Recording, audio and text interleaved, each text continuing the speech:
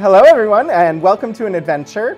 Uh, I'm uncertain how loud the music is. It's really loud in my ears today, and so I don't know. If, uh, if it's loud for you, please do let me know. Um, I'm hoping that you can hear me and that the music is not really loud for you. Um, but welcome to Archival Adventures. I am um, Rogan27, Anthony Wright de Hernandez. Um, here streaming on the twitch.tv slash VTUL studios and twitch.tv slash Rogan27. Um, so uh, just give me one second here. I'm looking at my sound settings.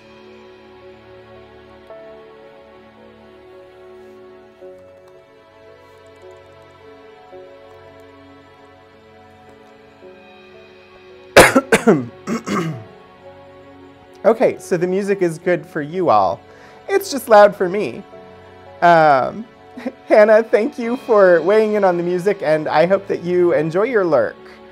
Um, well, we'll go with it. It might be the headphones that I have on today. I don't know.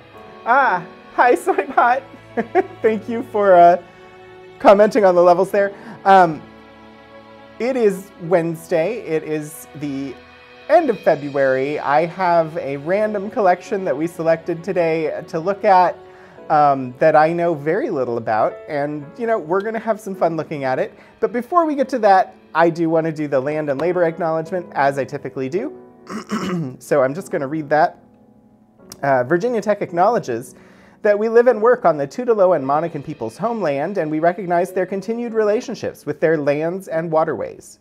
We further acknowledge that legislation and practices like the Morrill Act of 1862 enabled the Commonwealth of Virginia to finance and found Virginia Tech through the forced removal of Native nations from their lands, both locally and in Western territories.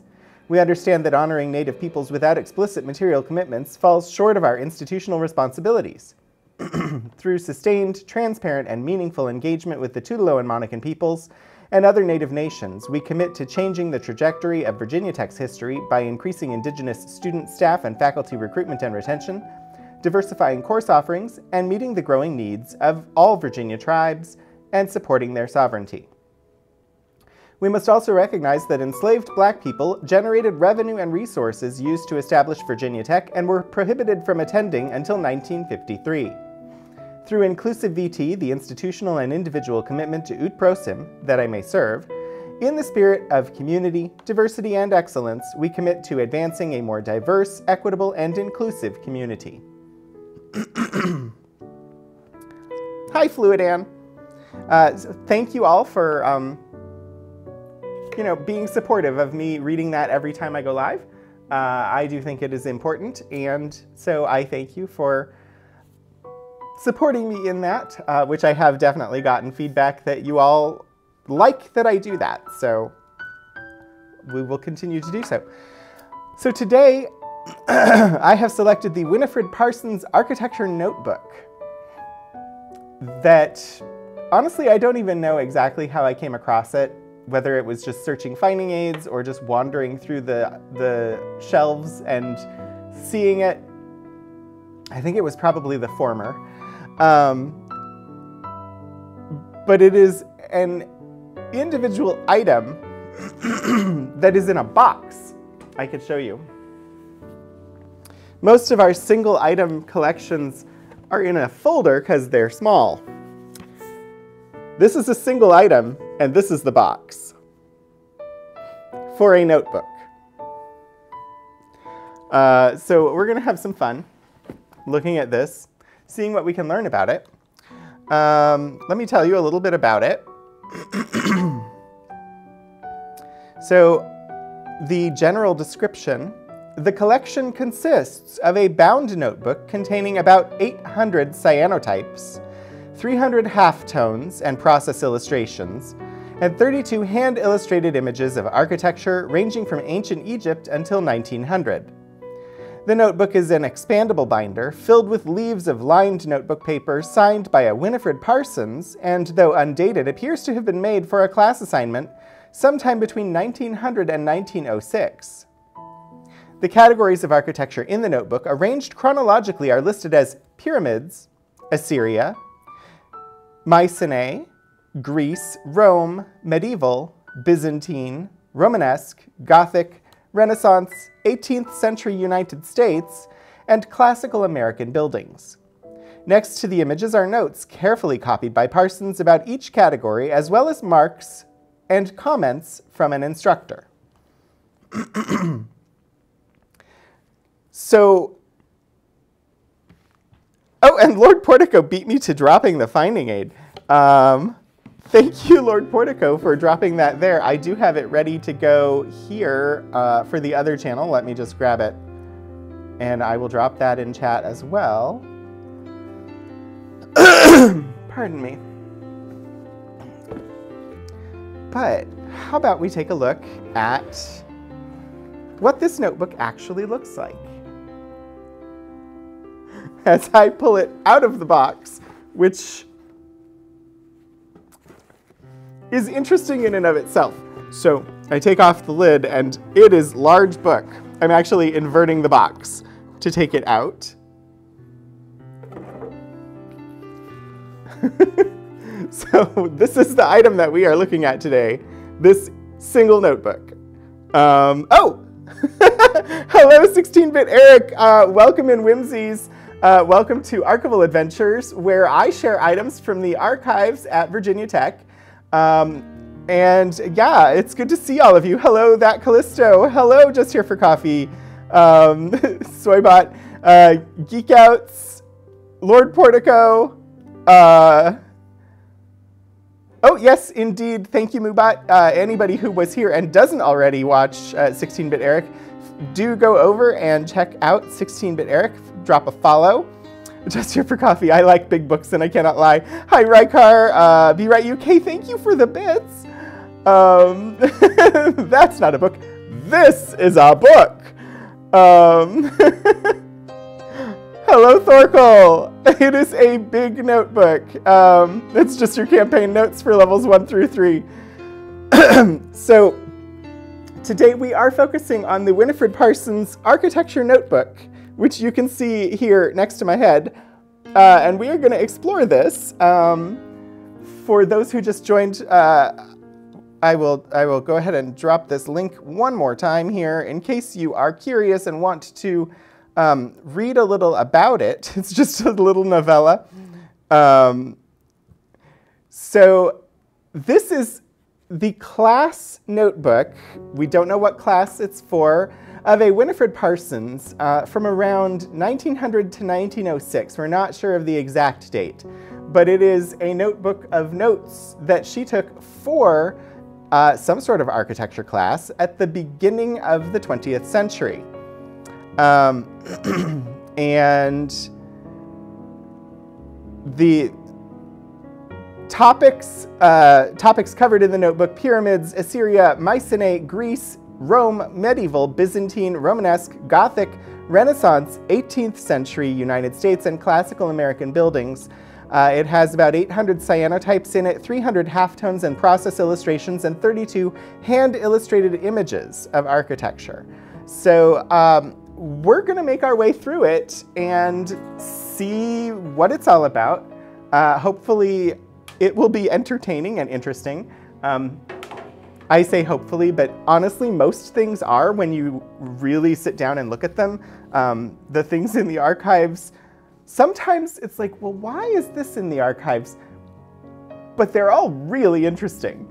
Uh, so we don't know much about Winifred Parsons other than that she was studying architecture between 1900 and 1906. Uh, I'm going to switch. I have a top-down camera here that will um, allow you all to see the notebook. Um, as you can see, the top, so the, the cover of the book is not as wide as the pages. Let me see how best I can get this camera situated to show you all. I may need to raise it up. Because this book is thick with a double C. Um, but you can see here the cover is not as wide as the pages. Uh, the top cover is actually also not attached anymore. It has uh, torn off. So, but you can see inside the top cover, Winifred Parsons, architecture.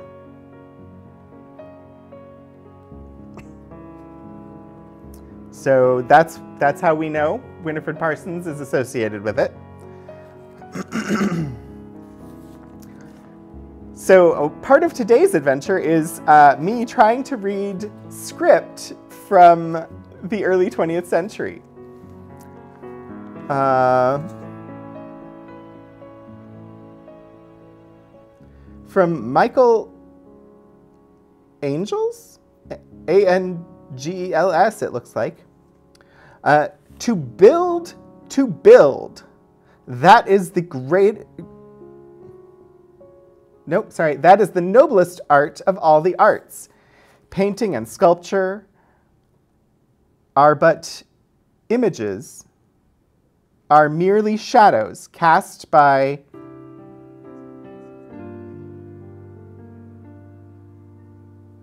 cast by something.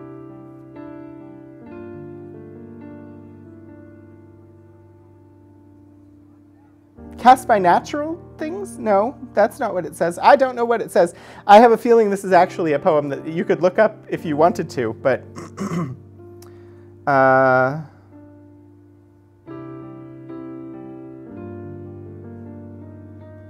hmm. I'm going to see because I my my brain stopped processing this handwriting partway through.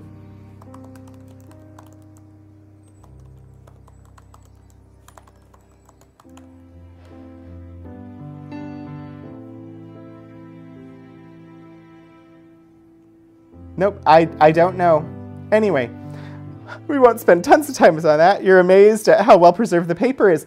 Honestly, this is quite quite good. It's a little yellowed, a little bit, um, but it's been in a notebook, so the place you'd see the weathering the most would be on the edges, and indeed, those are the most yellowed, the most weathered. Um,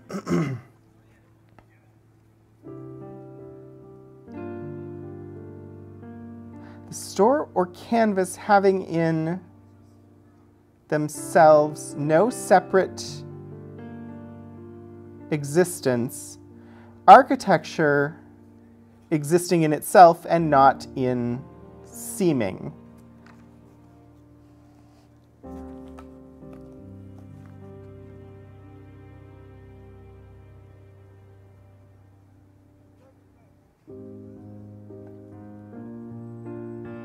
Is something it is not surpasses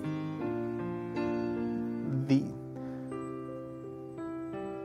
we're to struggle today with some of the handwriting. Yay! You're used to cheap paper used in paperbacks. Um, substance shadow. Oh, it's Henry Longfellow. It's from Henry Longfellow. Let me see if I can get the actual full text.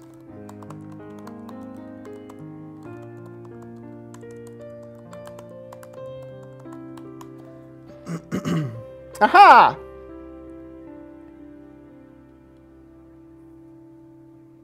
I will attempt.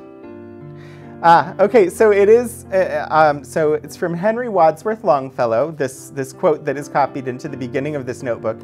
Ah, to build, to build. That is the noblest art of all the arts. Painting and sculpture are but images, are merely shadows cast by outward things on stone or canvas, having in themselves no separate existence. Architecture, existing in itself and not in seeming a, a something it is not, surpasses them as substance shadow. um, but yeah, this is, uh, I would say this paper, if you're at all familiar with the composition notebooks um, from like school, hang on, I'm, I'm rolling over the headphones. Give me one second. Um, but if you're at all familiar with composition notebooks, um, the black and white sort of marbled ones, um, I'd say the quality of paper is similar to that. Uh, it's just older. so it's it's ruled paper. It's got uh, it's not even what we would call today college ruled. It is just ruled paper. So the blue lines and the single red line down the side to indicate the margin. Um, I don't know. I may try lifting the camera today. because this might actually make it easier for you all to see the book because it is a thick book.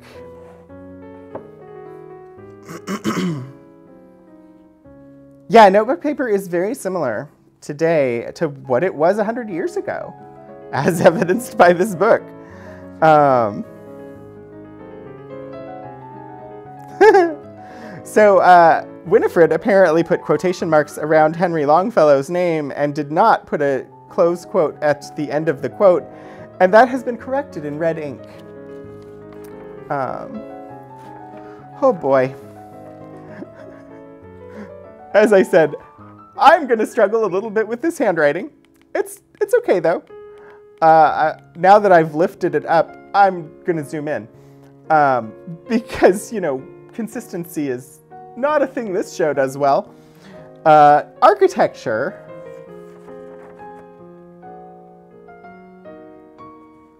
Where may the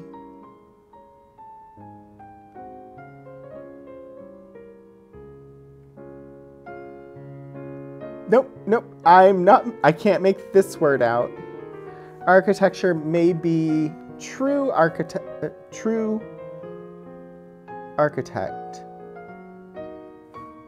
applied when a building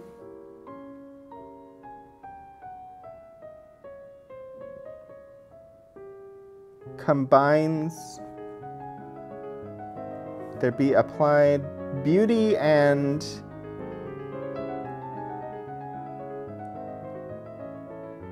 wow it's really loopy writing and very very very difficult to make out uh, beauty and grace with stability and to a building and shows the purpose for which it was built. Consistency is the bugaboo of a small mind? Okay, I had not heard that one before. Uh, discuss the pairing, discuss the painting and sculpture are relative in initiative. Architecture is creative. Pra uh, architecture is creative practice of Some of these thoughts end without finishing. Architecture is creative practice of, and then uh, we could do without painting and We could do without painting and paintings and sculpture. What? Oh. It's because I'm not reading it well. Uh, this is a prompt and this is an answer. Discuss the relative use, or no, discuss the relative in practice of paintings, sculpture, and architecture is the, the prompt. And Be Right UK got there before I did. The, the text in the margin is separate from the text after the margin. A, fo a foolish consistency is the hobgoblin of little minds adored by little statesmen and philosophers and divines. From Emerson in Self Reliance. Thank you for the full and proper quote, Thorkel. um, paintings and sculpture are imitative. Architecture is creative. We could do without paintings and sculpture, but not without architecture, for it is used to shelter us. It also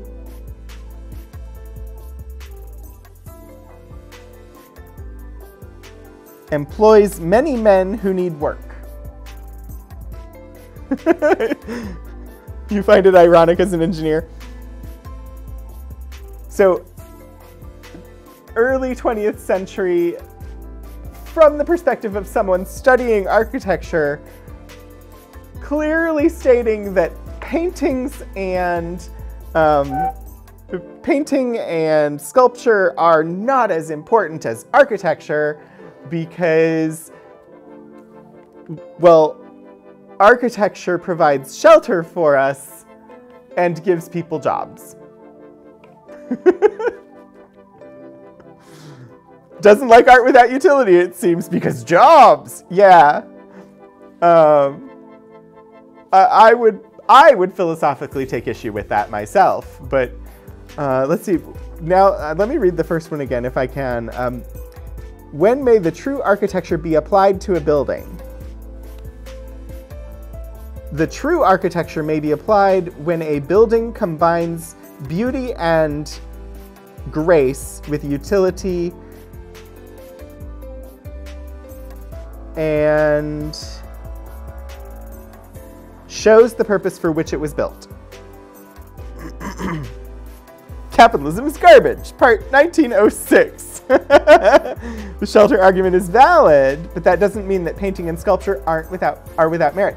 Indeed, indeed. Um, so, yes, architecture, in some ways, provides shelter. Uh, I would rather say architectural engineering provides shelter. Architecture as an art form does not.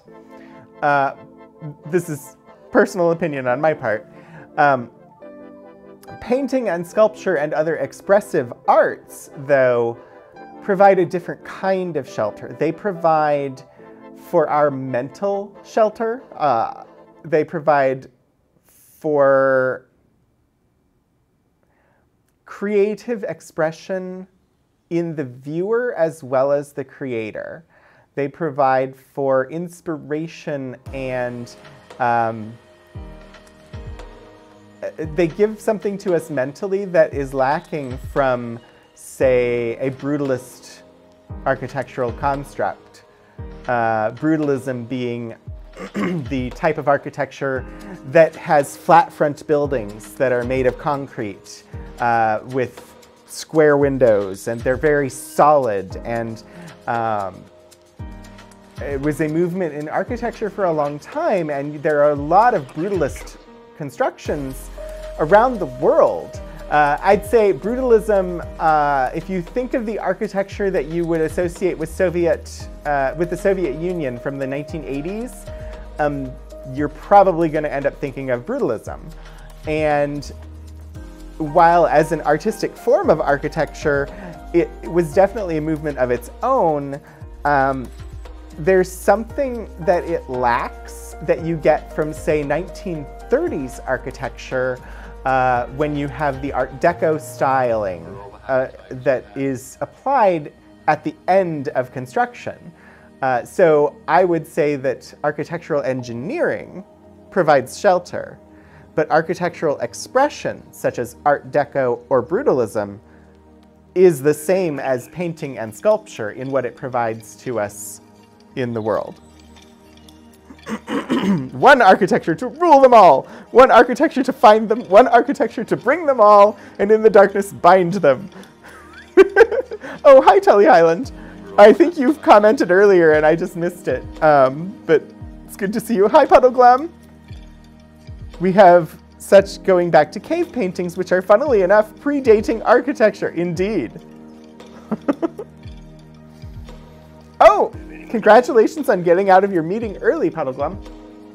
I do need a sip of water. I've just, we've been having uh, a lot of rain here, which makes my sinuses um, unhappy.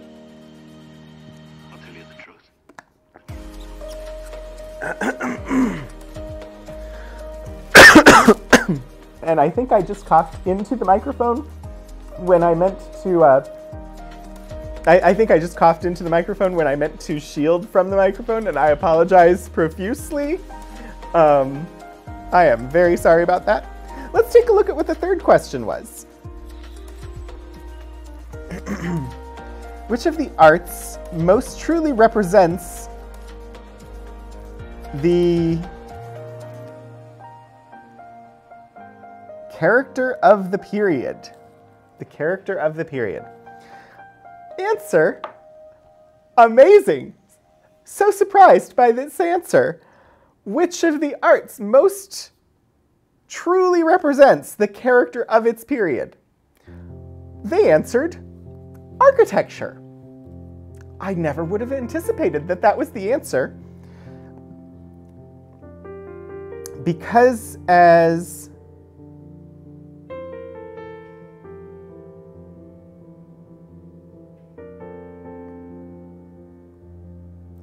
because as pictures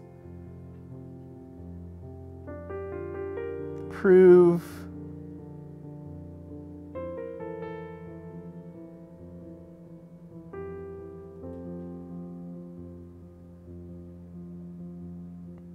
something or their tastes and opinions more liable to show this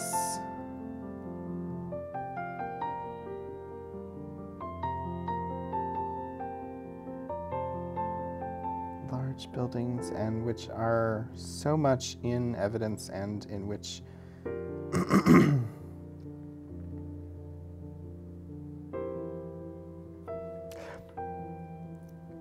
I'm not making out 100% of the words in this answer, and the answer doesn't end on a complete sentence. Architecture, because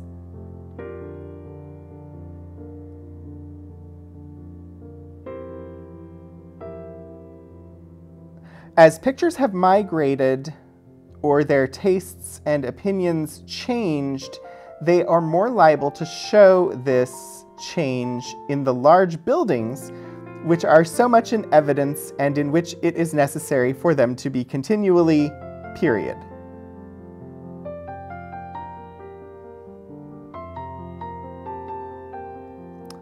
Ah, no, I get the sentence.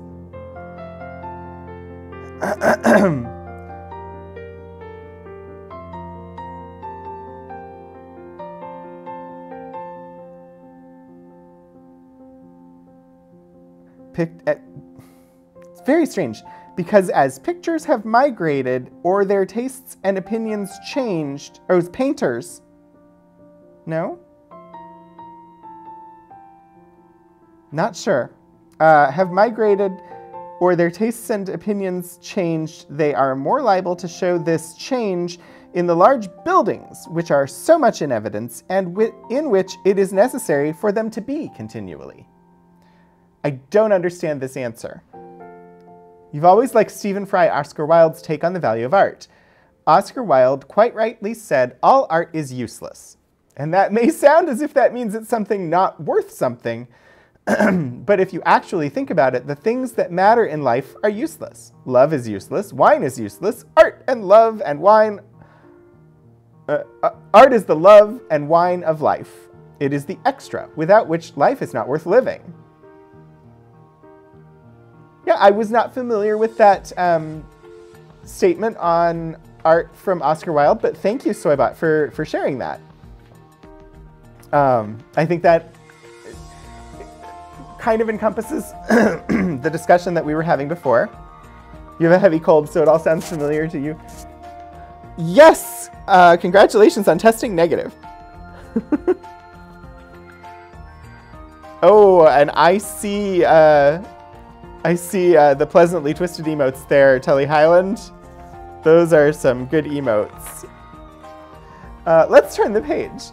we spent a while on page one of this very thick notebook. So um, the next page, we have a map of Egypt that appears to be um, a cyanotype, which is just the blue, the pl blueprinting process. It might not be a cyanotype. It might just be. I, am not sure. Um, there are some later that are definitely cyanotypes. but so we are starting with ancient Egypt in this book. Historic styles of architecture. Uh,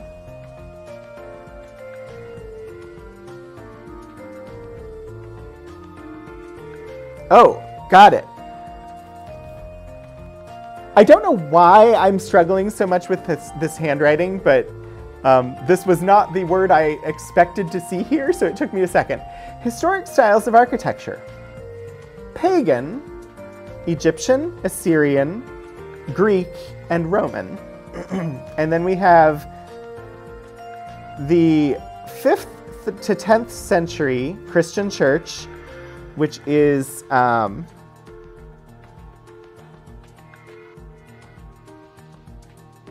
Basilica? is what it says there. 10th to 12th century Christian church, Romanesque. 12th to 15th century Gothic. 15th to present, Renaissance.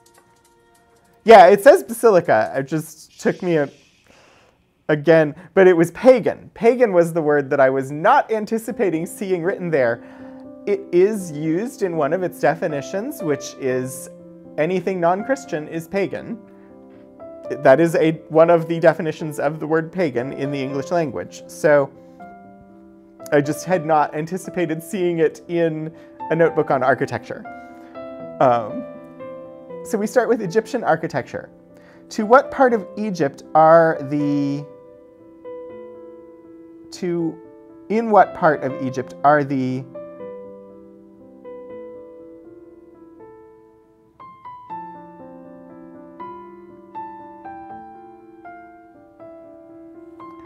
are the something dust monuments and why?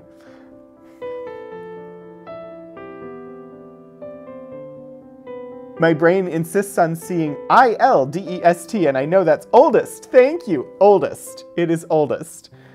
My brain was processing it as an I instead of an O.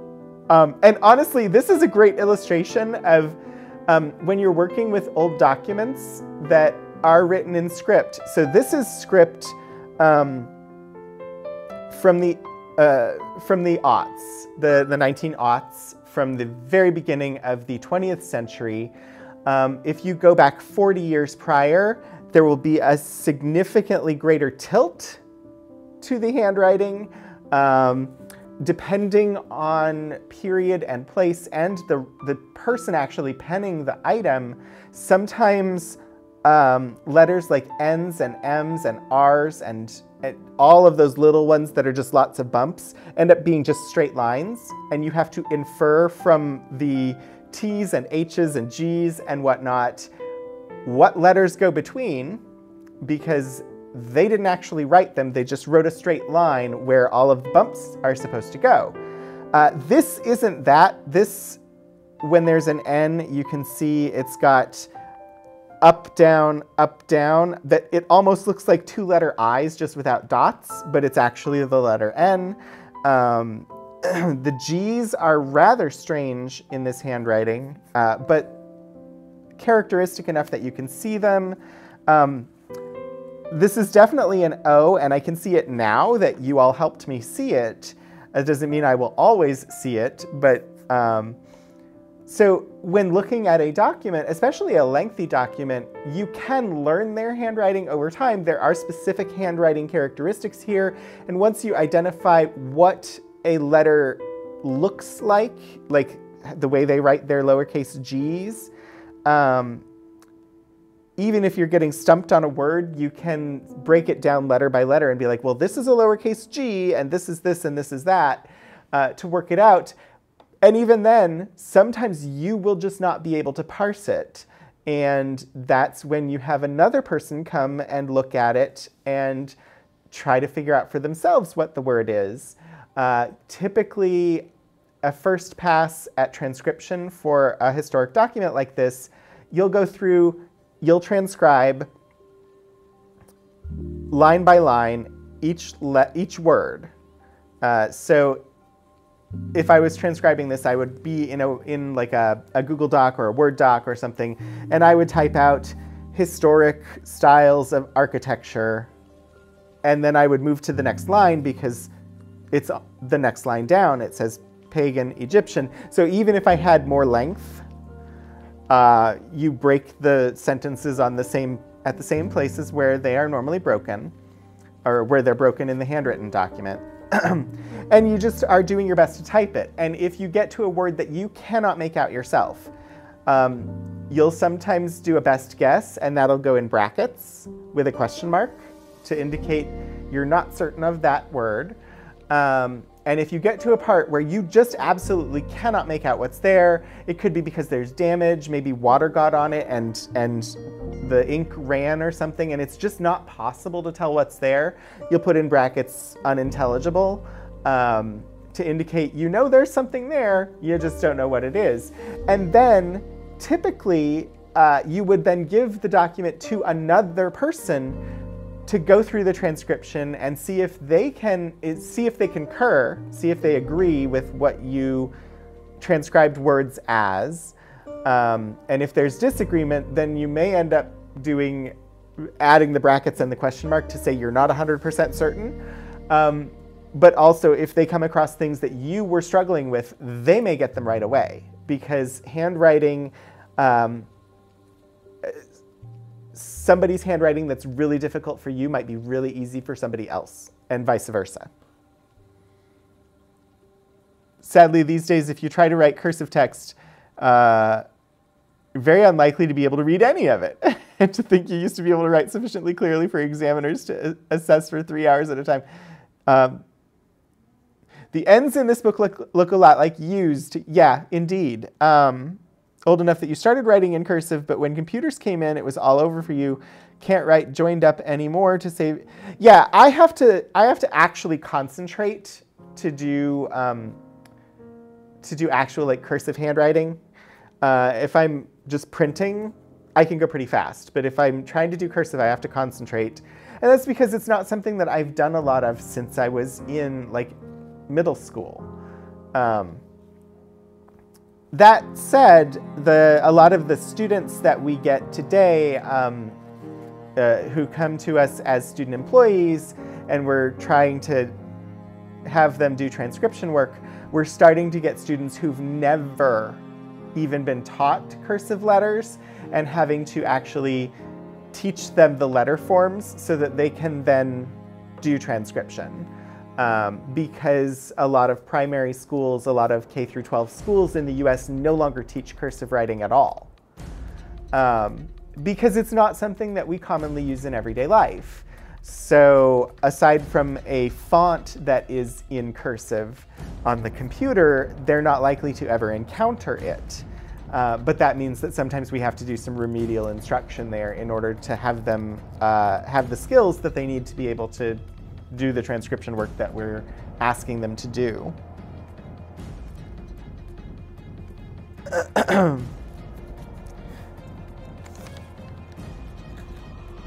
and I never actually learned um, proper touch typing. Um, I have my own method of doing it, and it is not the proper way, but I am still pretty fast at it. It's very weird to you that cursive is even considered a separate skill in the US. Um, so it, what's funny is it didn't like when I was when I was growing up, when I was in K through 12 school, it was referred to as cursive. But if you go historically, it was just called handwriting. Um, and there wasn't a lot of distinction. Like it was, it was the handwriting that people were taught. People weren't really taught letter forms in print versus letter forms in cursive. Uh, they were just taught cursive, and now we've sort of flipped. People learn their letters, but it's print letters, which are easier for little kids to get, the individual letters. Um, but yeah, it is. It's just a, a, change, and there are definitely many things that instructors have to spend their time on. Um, and I just know that we've reached the point where we have 18 year olds who have never encountered uh, cursive handwriting now. So uh, here we got, we've got some cyanotypes. We have the pyramids at uh,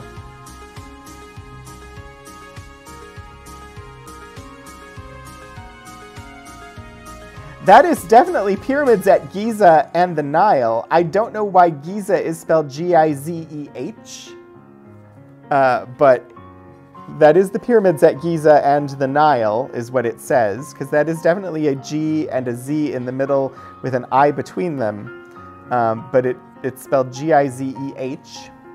Uh, and we have a cyanotype here. Are you all familiar with what a cyanotype is? Um, I will look up an actual definition.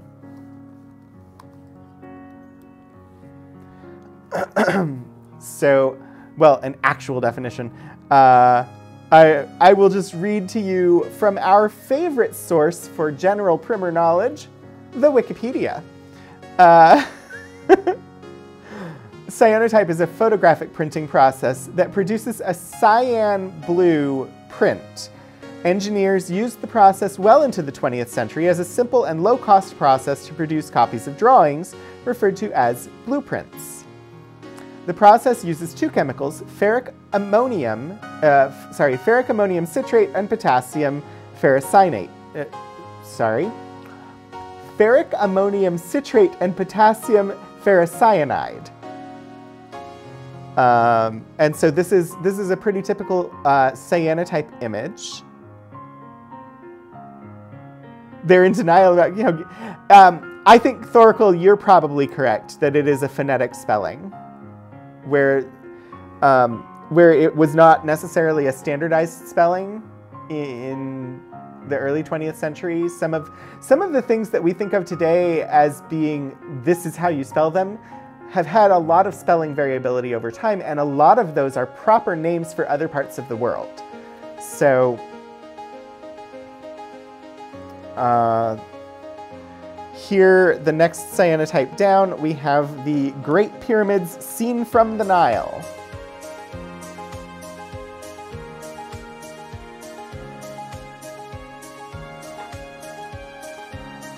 And then we have some notes. Uh, the pyramids of the Nile on the edge of the desert. This side represented the land of darkness and death to the Egyptians because uh, the sun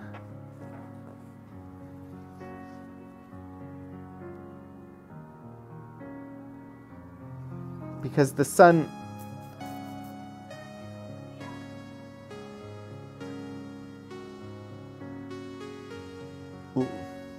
L E I'm not certain. Sets, thank you. I, this is why extra eyes are helpful, because the sun sets there. Nearly all the temples are on the eastern bank.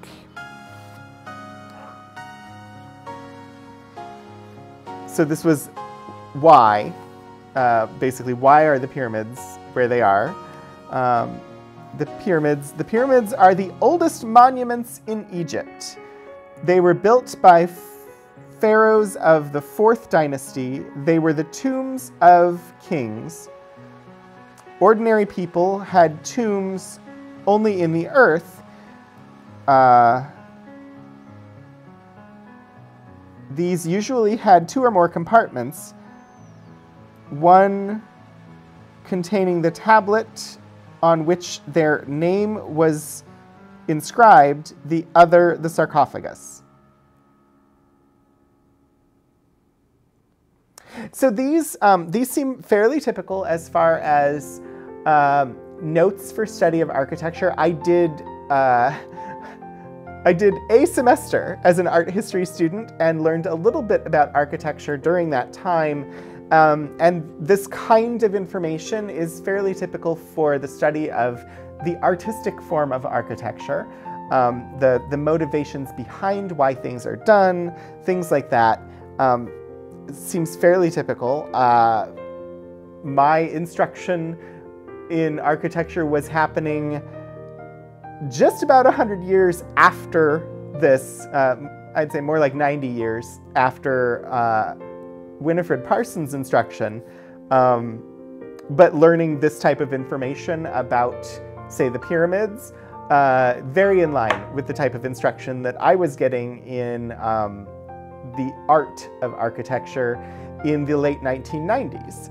So, interesting. Um, this book itself um, is presently held together by cotton tape. This is archival cotton tape, so this is something that we have added to hold this together as a notebook. I am uncertain what was originally holding it together when we first got the book, uh, but whatever it uh, was either had disintegrated, deteriorated, or in some other way had failed or was failing or would have damaged the paper, uh, and therefore it was replaced with the cotton tape. Um, I don't think Kira is in chat, or we could ask her because she's the one who actually processed this book and did the description. I'm going to jump ahead because we're at 316, um, and we still were in ancient Egypt. Uh, so let's jump ahead and see where else we might go. Um, well, it looks like we've got some ancient Greece here now.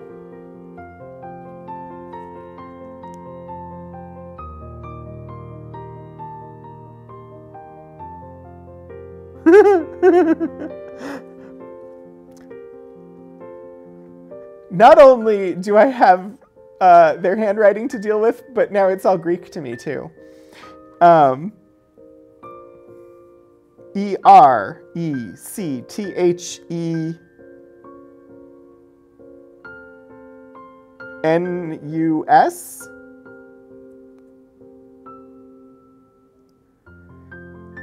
Eric Theus, Eric Thinius, something like that, restored. um, we have the Temple of. I don't think this is right. Oh, no, it's the Temple of Nike. My brain looked at the word and said, this says Temple of Pike. But that may be just um, Critical Role and Vox Machina on the brain. Um, it is the Temple of Nike, uh, Apteros. Uh, this is not, so we had the cyanotypes before. Oh, Thorkel, um, uh, could you let um, Lord Portico know what link you were trying to share, and um, he can give you permission for that.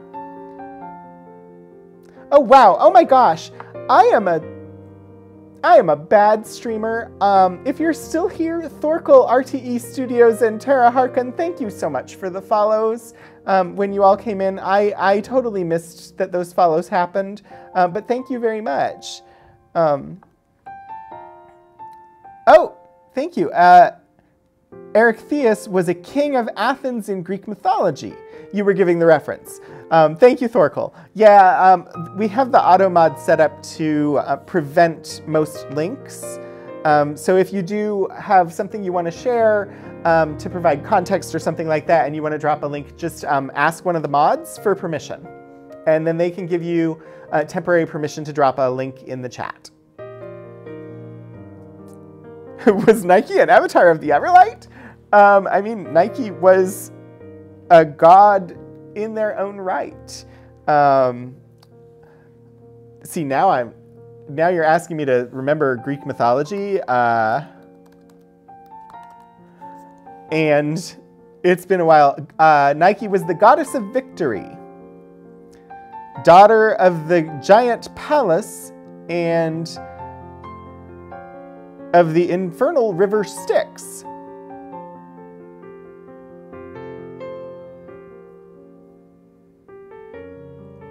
So Nike, goddess of victory, was the daughter of a giant named Pallas and the river Styx. So the giant Pallas was one parent and the river Styx was the other parent.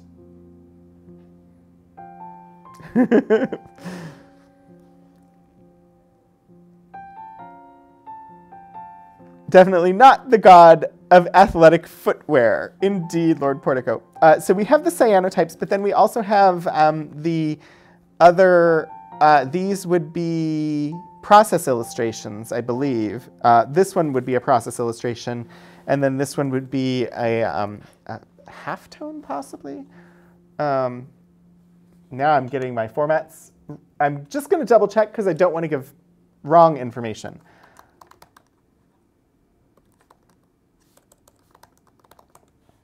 And process illustration.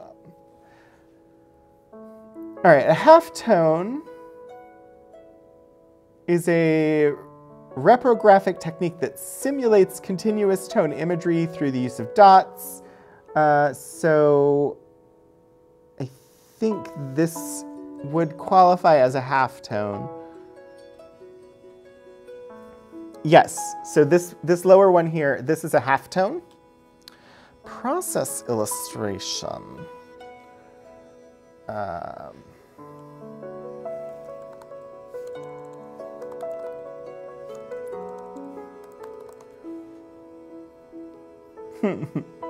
oh, search, you have failed me.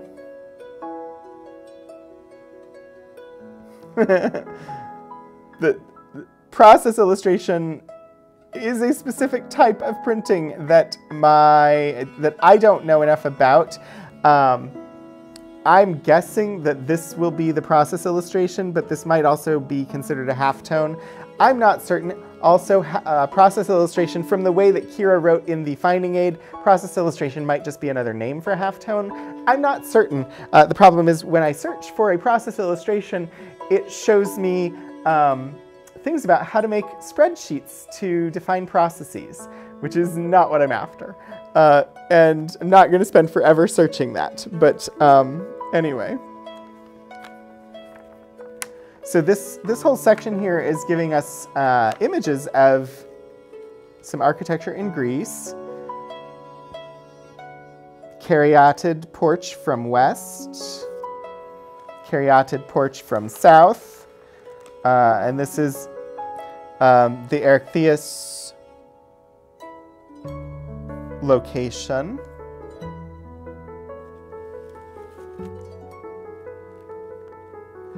The mausoleum of Halicarnassus restored.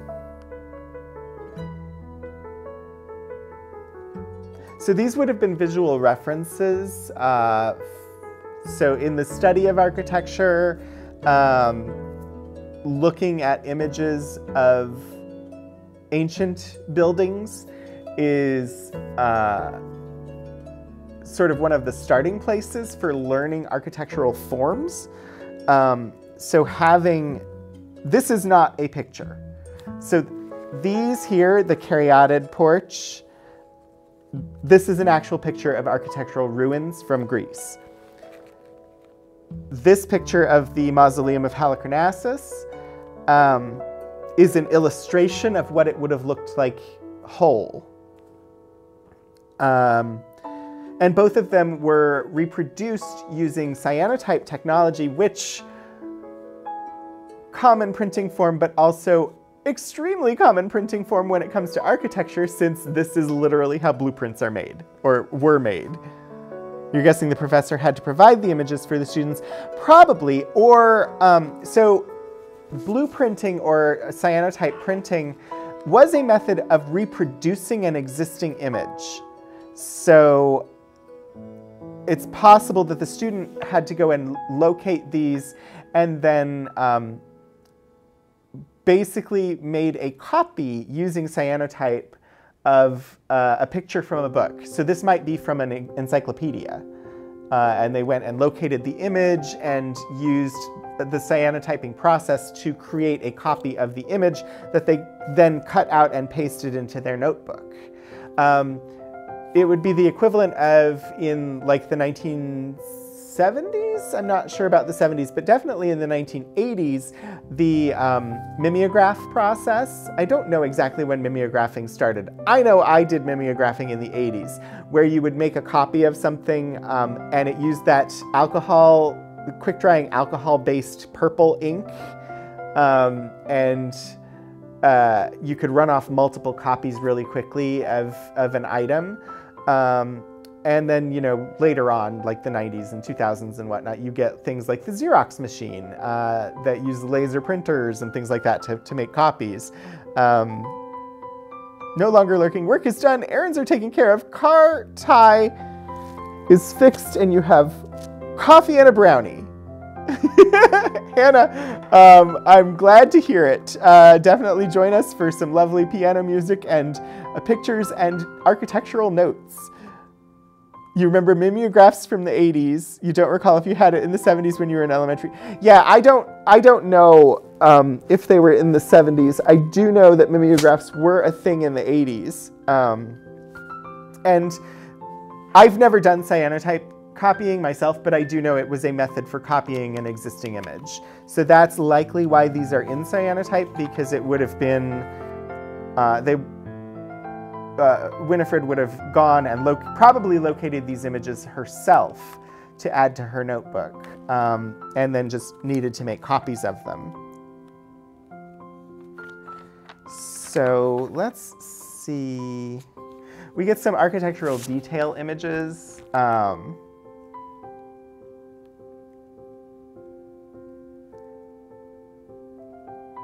the acanthus from the top of from the top of Col from the top of Colossus. Look at the way the word Colossus is written here.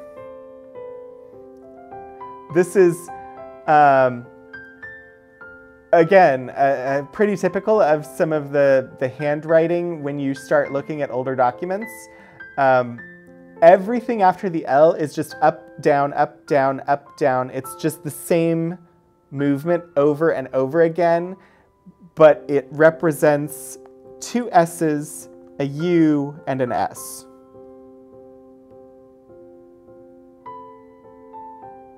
But it's literally just up and down, up and down, up and down, up and down, and actually looks like multiple N's in a row given the way that she writes her N's. So makes it somewhat difficult to read words sometimes.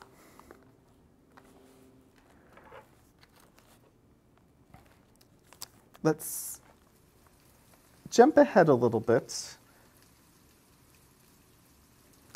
I want to go past Greece. Uh, we get some basilica stuff.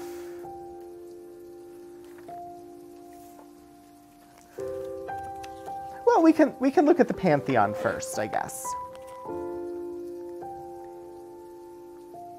Um, we have the interior of Parthenon restored. Only meaning to words are hard. Indeed, indeed, you are correct. Uh, and then we have an acanthus for the Parthenon. An acanthus um, is a type of plant. Uh, I don't know specifically. I'm going to look it up and we will learn. Um, all right, Acanthus is a genus of about 30 species of flowering plants in the family Acanth uh, Acanthaceae, native to tropical and warm temperate regions with the highest species diversity in the Mediterranean basin and Asia. The flowering plant is nectar producing and is susceptible to predation by butterflies such as uh, Anartia fatima, and other nectar-feeding organisms. Common names include acanthus and bear's breeches. The generic name derives from the Greek term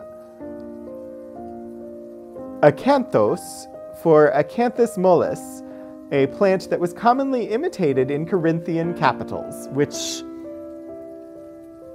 this would be an example of a Corinthian capital.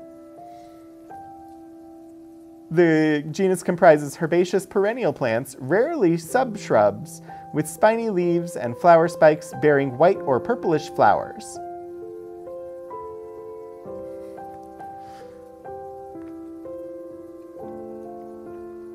You vaguely remember cranking a Gestetner machine in school. I'm not familiar with that machine, but I assume it has something to do with mimeographing. Pantheon, not Parthenon. Um, yes, and I did say Pantheon. This says Parthenon.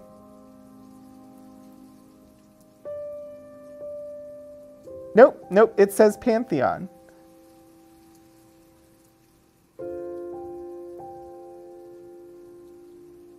This said Parthenon, and she overwrote it to correct it to Pantheon.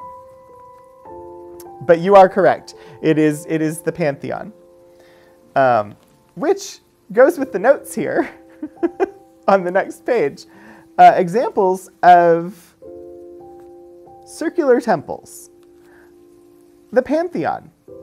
Temple at Tivoli. Uh, temple near mouth of Cloaca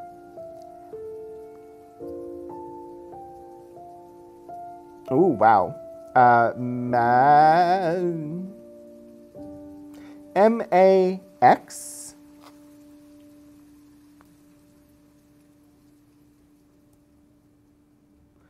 Yeah, my brain is not getting this word. Uh, M-A-X something. It looks like there may be an I or a T in there because that dot could either be a dot for an I or uh, a very short cross to go across a bar, making it something into a T. Um, in parentheses after it, it says mater matuta?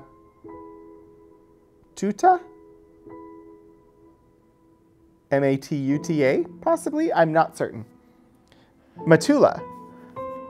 Mater Matula. I am unfamiliar. I'm going to Google.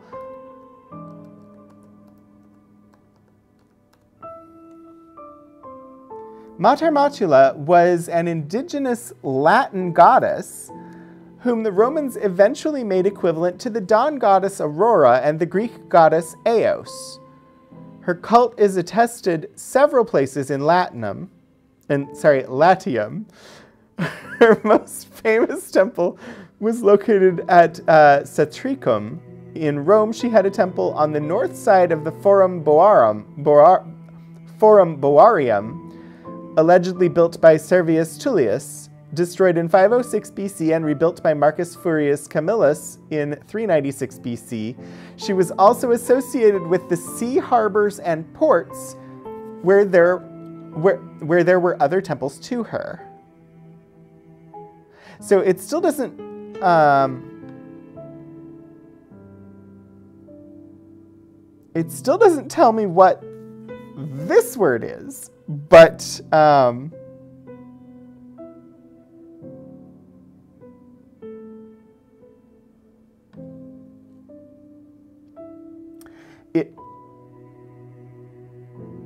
is possible it's Matralia? No. That was the festival. I'm uncertain.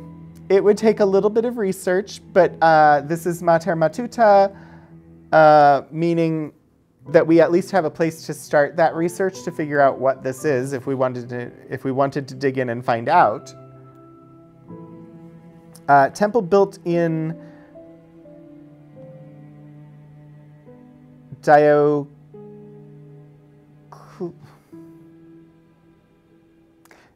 D I O C L E T I O N, Diocletian, thank you, uh, in Palace at Spalatro? S P A L A T R O is what it looks like. Thorkel, um, yeah, absolutely. Uh, I thank you for joining. Um, we will be back again next week. Next week, we're going to look at whatever I can find in our collections about olives for reasons. So I hope that you'll come and join. um, so yeah, temple built by Diocletian in palace at Spalatro. Uh, temple of Vesta at the east end of the forum.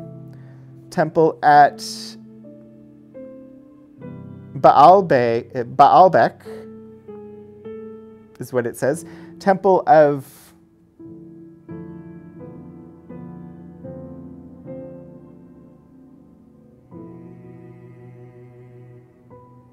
Temple of something at Rome and Temple of the same something at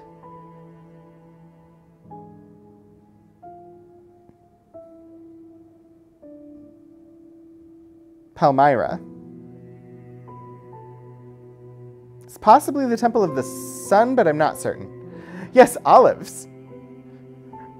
Olives for reasons. And hey, we're talking about Greek stuff today, so, uh, you know, somewhat of a theme, I suppose.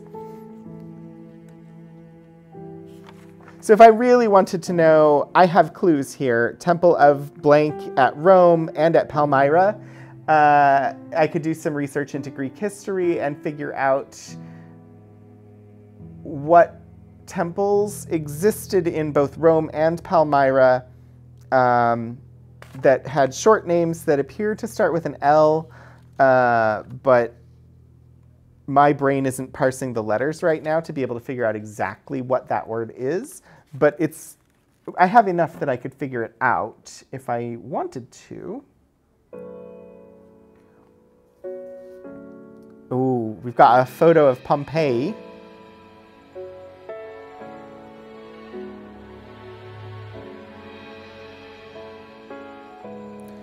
Pompeii with excavations.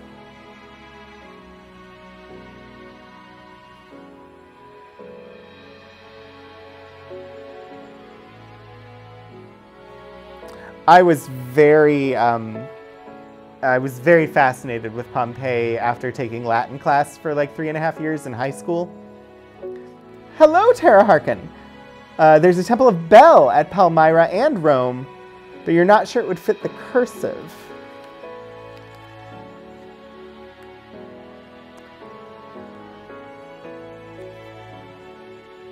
Yeah, I'm. I don't think it would. Because we know uh, the way she's been writing B's in here is has been uppercase, and it would make sense that that would be an uppercase. And there's definitely not a lowercase l at the end of it. But thanks for looking. That is, um, that was a good possibility. Uh, let me see. If we if we want to know, I can I can make um,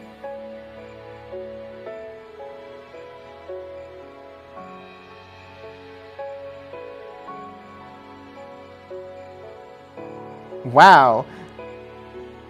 A quick search definitely comes up with bell, but that is definitely not the word that is written there. Uh, Palmyra.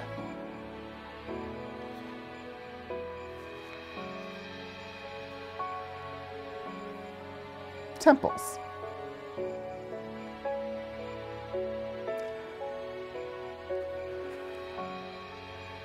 Yeah, I still don't know.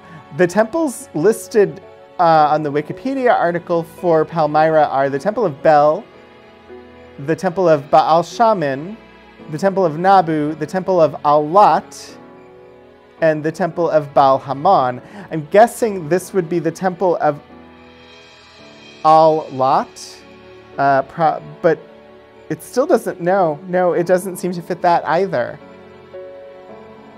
I have no idea. I don't know. Uh, so it would take some digging, I guess. But I'm, I'm going to move on from that. But thank you for looking and prompting me to go back and look some more. Um, so we've definitely moved, we moved from Greece to Rome. But let's see what else we've got. Oh, and uh, Lion for Allah. Um, I, Kira, if you are there, because I saw that you were doing some mod stuff, if you can hear me, um, do you know was the notebook when we when you processed it was it fully was it bound with something? Because I see the archival cloth tape is holding it together now, and I was curious what that might be replacing, um, or if you added it to hold the book together.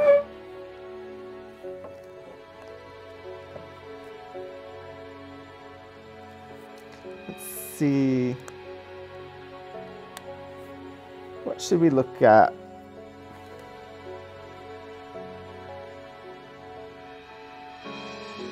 Oh, we've got a list of basilicas here.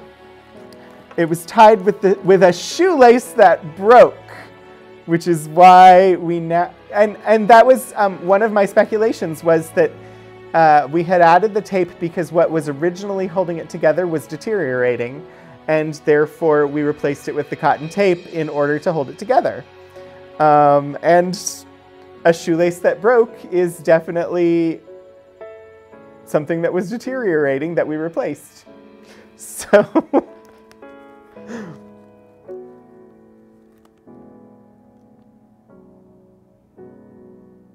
San Paolo Friori le Mura? at Rome. and that's me trying to read what is clearly a name written in Italian. Um, I do not do Italian normally.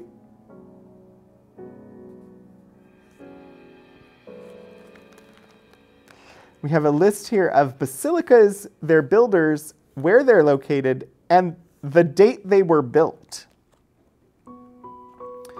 Uh,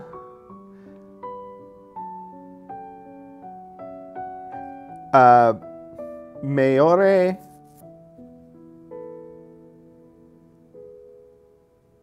et Pietro. I'm not certain about that.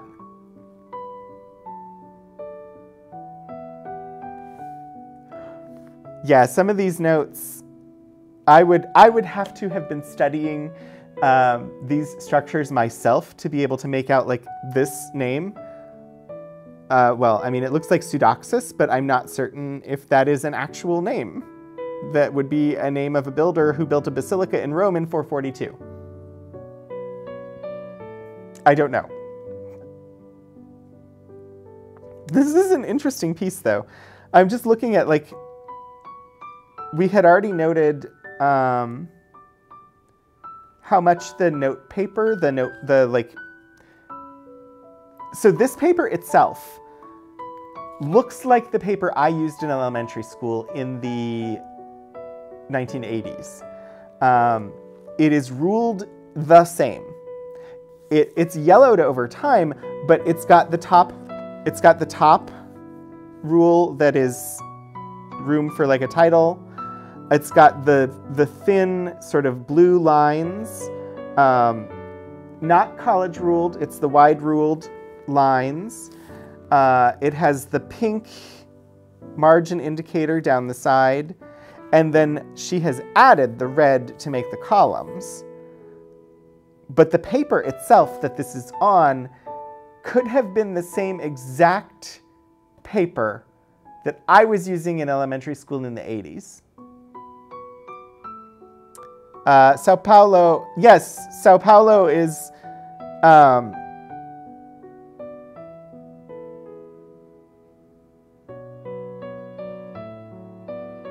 But this is not, uh, so this, this is San Paolo, Friore le Mursa at Rome. So it's definitely at Rome, so it's, it's an Italian name of the building. Um, San Paolo Fiore le Mur, uh, Mura, M-U-R-A, I think. possibly Le Musa. That could be an R or an S. I'm not certain. I could find out. Oh yeah, no, totally, uh, Hannah. I no problem. Uh, San Paulo.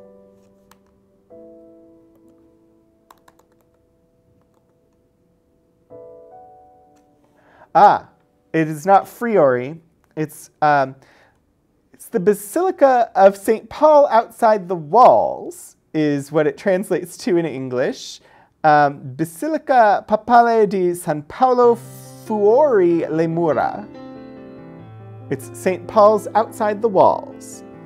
It's one of Rome's four major papal basilicas. and I was able to read enough of it that trying to type it um, into Google at, at least got me something. Ooh. Gate and Wall of Byzantine Empire. A lovely cyanotype here. You've got um, what very much looks like uh, European medieval construction. Um, although medieval is a completely separate section in this book. But you can see here um, this cyanotype.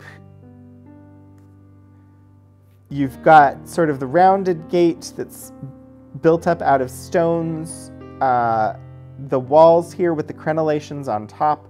It very much looks like a medieval castle entrance, but it is the gate and wall of a of the from the Byzantine Empire which the Byzantine Empire would be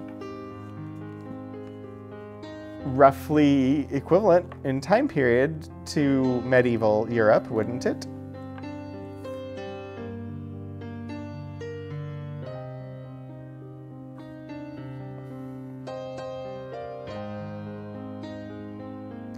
Tomb of uh, Theodor Theodori at Ravenna. I don't know the dates of the Byzantine Empire off the top of my head.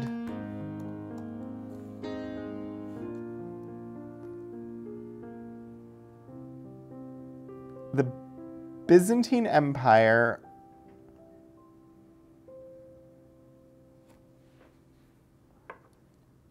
the eastern half of the Roman Empire, which survived for a thousand years after the western half had crumbled into various feudal kingdoms and, uh, and which finally fell to the Ottoman Turk Empire in 1453.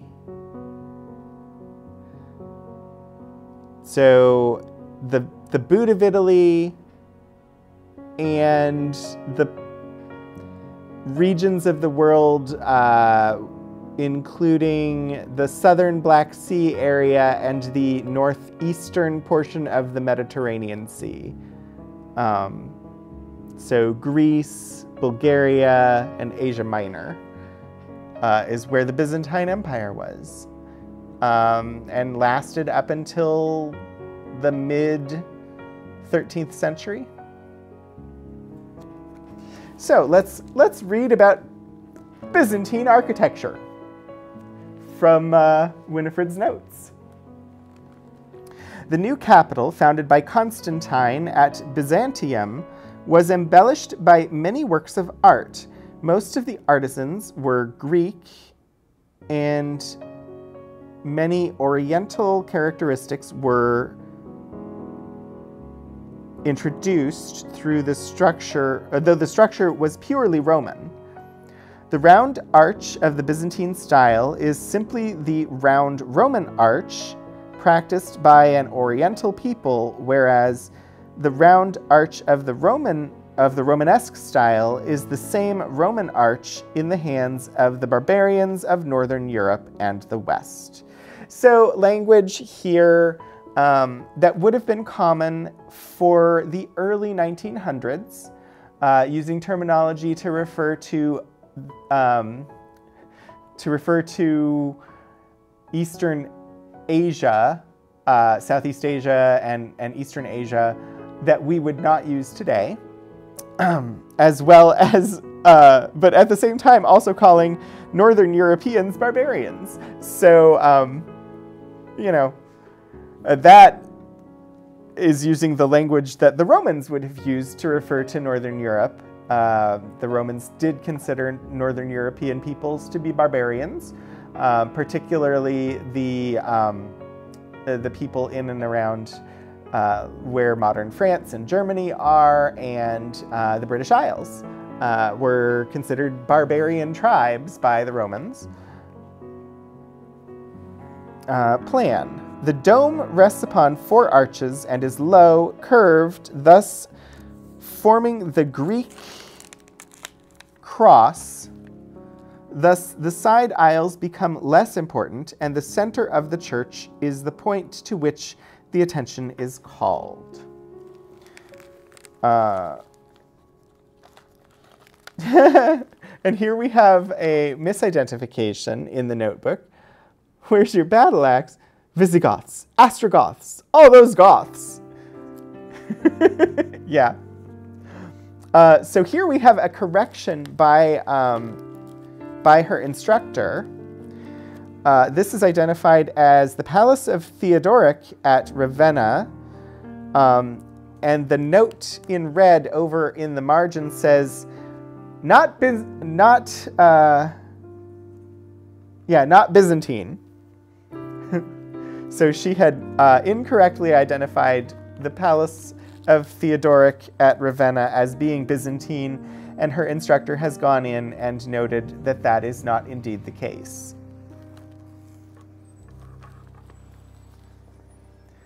Exterior. Externally, the Byzantine buildings were very plain and lacking in beauty.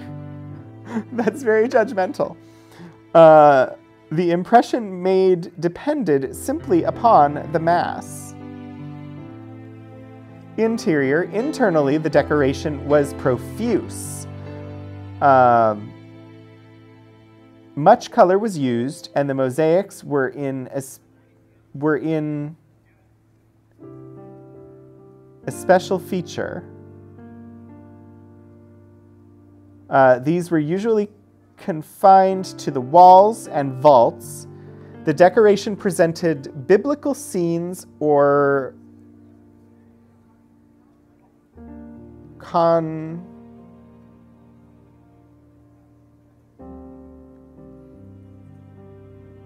conventional designs. The walls were sheathed in marble, the panels framed in billet moldings, in billet moldings. Yes, thank you, Just Here for Coffee. You, you probably got there before I did, uh, but with the delay, I, I managed to get it without, without help, but thank you. Imagine having your red pen corrections on display a century later. Indeed. Indeed so. Um,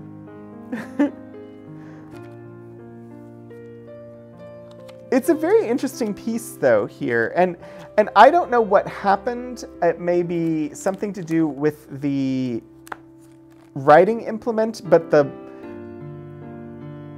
the handwriting has gotten easier for me to read in this section. Uh, possibly this section was penned at a later date and her letter forms had changed a little bit over time. Um, the writing itself seems really similar, but for some reason, this page I was able to read much, much easier than the previous pages that we've tried to read. Um, also not unusual. Let's flip ahead a bit further. We have some more cyanotypes here. Uh, Church of the something at Cologne.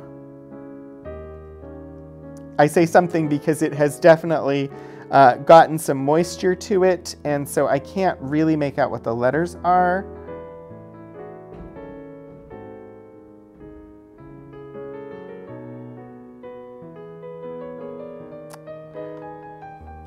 Uh, Church of the at Cologne. Apostles. It is Church of the Apostles at Cologne. Um, and then below it, we have the Cathedral of Spires. So these are going to be Gothic, I think. Uh, just based on looking at the images, uh, these appear to be Gothic architecture to me. Um, let's see if we can figure out what what uh,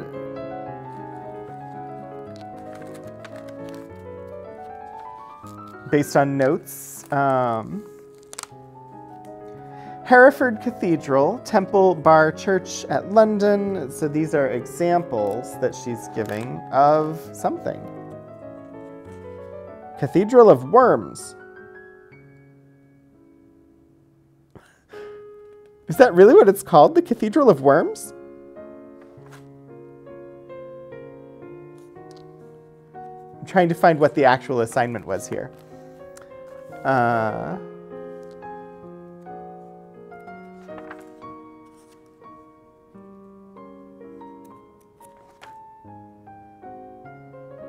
but I don't think I'm going to find it. I think it's just examples of architecture. Worms, W R W U R M S, is a location. I was not personally aware of that. I believe you. This is this is written W O R M S, but uh, there is a cathedral in Germany in a town called Worms. Well, I think we have a cyanotype of that cathedral of Worms. St. St. Peter's Cathedral. It's quite pretty. Uh, all the Gothic towers on it.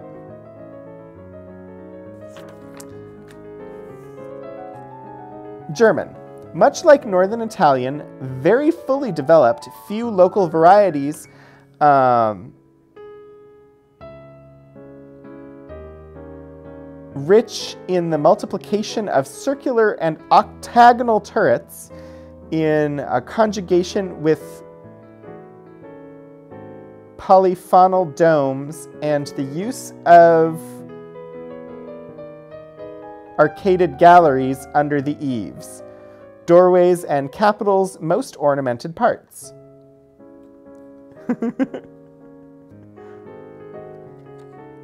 and the, the language used here, um, I'm surprised I'm getting the words as quickly as I am because uh, much like Northern Italian, fairly easy language there, very fully developed, few local varieties rich in the multiplication of circular and octagonal turrets in conjugation with polyphonal domes and the use of arcaded galleries under the eaves. That sentence the multiplication of circular and octagonal turrets in conjunction with polyphonal domes, or sorry, polygonal domes, and the use of arcaded galleries under the eaves. I'm amazed that I got those words as quickly as I did, even with getting polyphonal instead of polygonal. Um,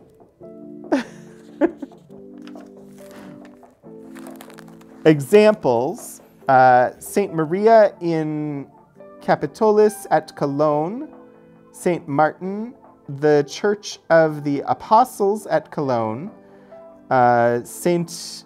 Cunibert at Cologne. I think that's what it says. C U N I B E R T. Uh, cathedral at Mycenae, Cathedral at Worms, Cathedral at Spireo, Cathedral at Bonn, Cathedral at Aix La Chapelle. And the red pen notes, examined March 9th, excellent. Tardium excused, tardies excused. Uh, tardiness excused, sorry. So she did good work, so the fact that she was late was excused. if I was to go through this book page by page and read the examination notes, I wonder if we would see a pattern of tardiness. Um, not necessarily because I have one indication here that there was some tardiness.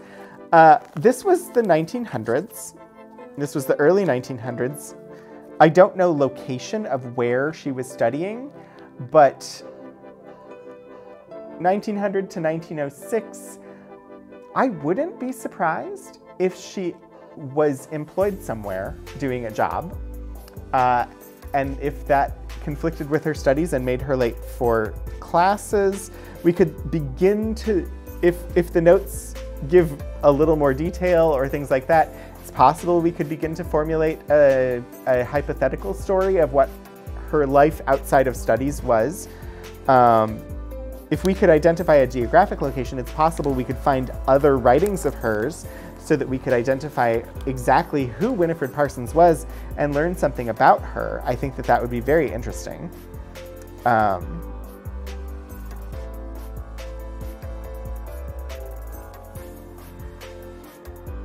yeah.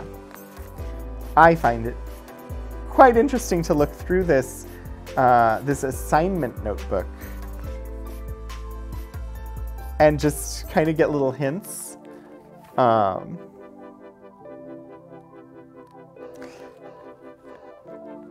I'm, I'm flipping through pages uh, many at a time so we can move through the eras here and kind of get examples and notes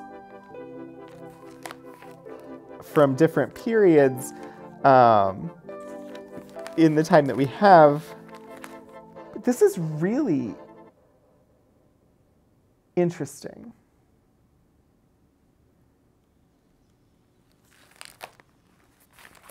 This is not an item that I necessarily would have been like, hmm, we should definitely have this in our archives, but we do have collections on women in architecture. Uh, she was definitely a woman, and she was definitely in architecture in the sense that she was studying architecture uh, just after the turn of the century from the 19th to the 20th century. Here we have the chapter house of Wells's Cathedral. Uh, note added to it decorated windows. There are indeed decorated windows. Cloister of Wells's Cathedral. Perpendicular. This is not the first page where perpendicular decorated. So this section is a study of some of these cathedrals. Let's see what we can figure out.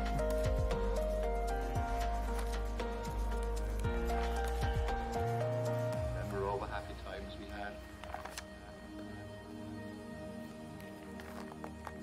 You know, I find it very interesting that there were just words in this song, and I very definitely have it told have it set to not include songs with words, but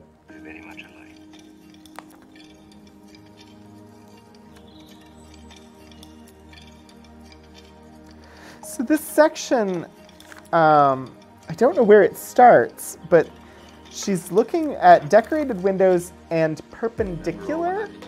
Uh, I'm assuming that those are both meant to be about the windows. Um, I don't fully understand the difference myself. If somebody does, please share, because I don't know. Uh, I'm gonna bump this down just a tiny little bit more.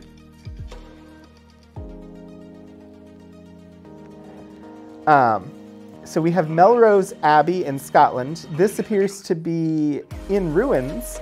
Uh, it is marked as decorated. Yeah, um, Hannah, I'm not surprised that it plays during stream because I use the same channel for this stream. I use the uh, the chill piano channel on Pretzel Rocks, um, and I have it set to instrumental only. So it's just weird to me that there are words in this, but it shows up under the instrumental. Um, but yeah, I, I pull from the same source every week for the background music, so I, I don't know. And then we have Melrose Abbey, definitely decorated. We've got the interior of Melrose Abbey. Um, these are marked as decorated windows.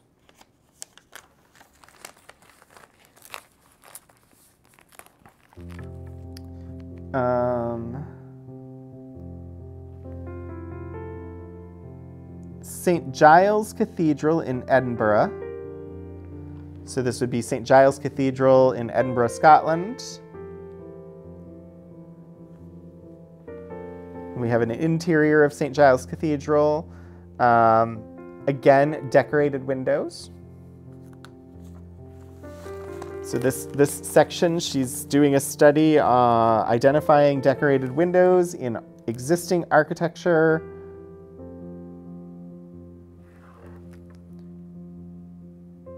Cloisters of Westminster Abbey. St. Giles still looks like that. Cool. Yeah, I, it's not surprising to me, honestly. So a number of decorated interior or decorated windows. But then, so we get during the study, like she definitely had this assignment where she was supposed to take these, uh, supposed to identify photographs of um,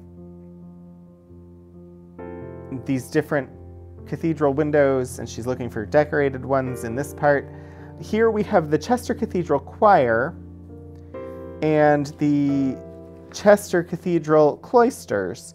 Uh, she marked them as decorated. The red notes here for the choir, it says early ENG period. So apparently not decorated. Early English, possibly? I'm not certain. Um, and then for the cloisters, it's been identified as perpendicular rather than being um, decorated, which seems like a strange dichotomy decorated versus perpendicular. I don't understand. Um,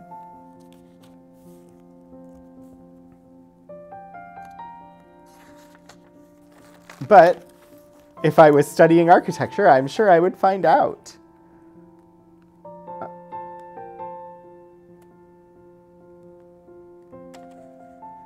Let's see. Early English facade. Lincoln Cathedral. She marked it as decorated. He's clarified, or I say he, but I don't know. Her instructor has marked it as early English uh, facade in the red pen again. And this is Lincoln Cathedral, which has a very typical structure. Like the, the architecture of this building is something that we're all familiar with. We've seen buildings that look like this. Um, let's see. More decorated early English stonework. Huh. I don't understand the, the distinctions myself. York.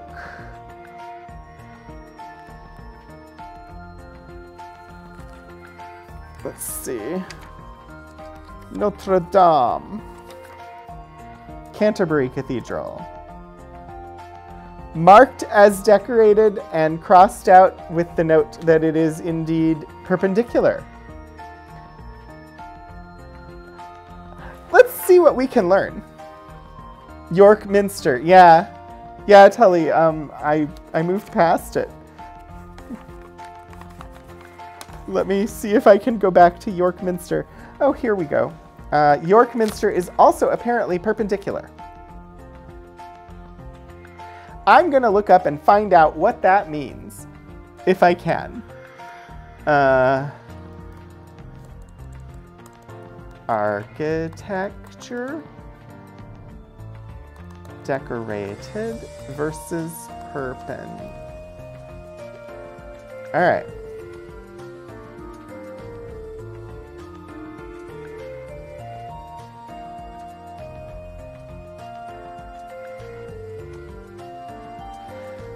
English Gothic architecture.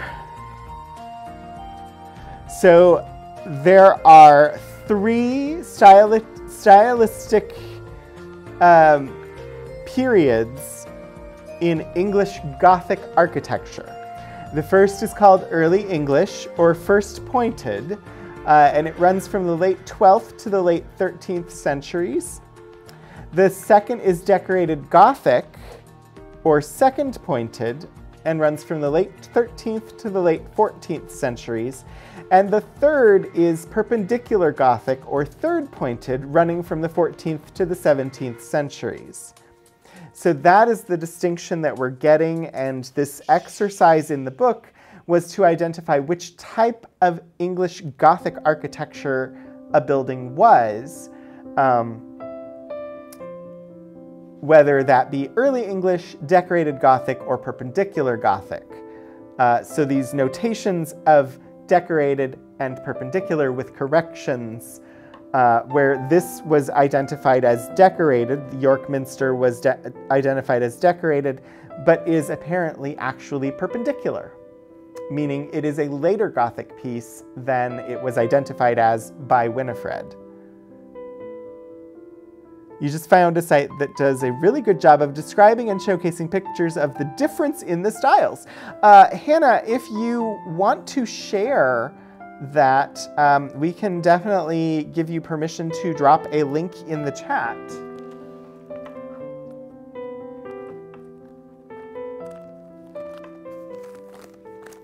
Because I don't remember if I have permanent per permission for you or not. But you now have permission if you want to drop, and there's the link. If anybody is interested in learning about those different types of Gothic um, style. And uh, Elixir, if you can copy that link over to the other chat, that would be helpful because I can't really access that keyboard at the moment.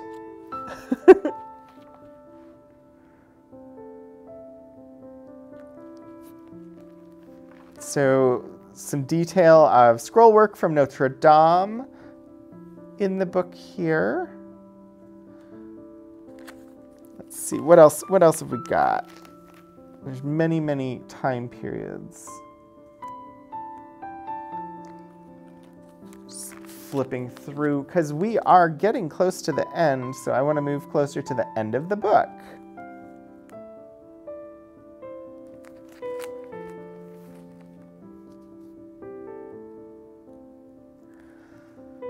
I want to find another section with actual notes that's not just pictures because, haha, here we go. Um, so we've got the main entrance of Seville Cathedral.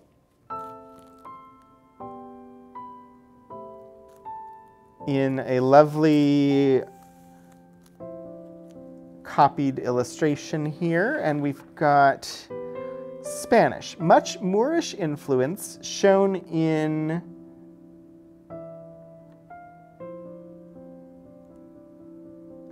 horse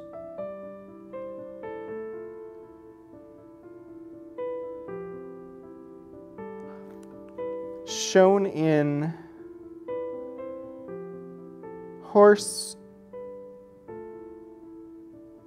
I'm not certain. I don't know this. Arch and in tracery. Um, that exteriors over decoration. Over, over, flat exteriors over decoration. Yes, the artistry and skill to build these, just absolutely amazing. There's so much detail and so much work. Um, they're, they're quite pretty. Um, this architecture course that she was going through started in North Africa um, and then moved north across the Mediterranean and eastward into um, Western Europe. Uh, and then I believe if we flip further, we will end up in America. So there's not really any study here of, uh, say, ancient South American architecture or um, indeed Southern African architecture, or which is a real thing. there are architectural styles in Africa that are not Egyptian. Um, especially like if you go to Ethiopia, there's a lot of very unique architecture in Ethiopia. Um, nothing about Polynesian architecture, nothing about uh, indeed Asian architecture in these notes. Um, but still, some very beautiful buildings uh, in, in this Western European architecture that we're seeing. Um, I want to see, because it definitely goes into America. Here we've got France. But I, I want to flip to, to some of the really late stuff in here um, and go to American architecture if I can. Just don't know where it is.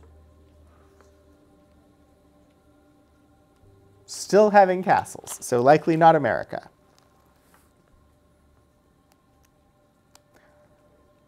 This definitely seems French. Council chamber. Where are we? Palace at H E R R E N C H I. Palace at somewhere.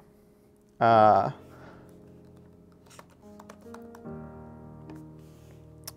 Herrenchiemsee. Uh, sorry, Herrenchiemsee. Which is in Bavaria in Germany. but definitely looks like French influence there. Um, Fluidan got there very quickly. All right. I know it said American, which is why I'm trying to go and find American. I should just start at the back. That's what I should do. Start at the back.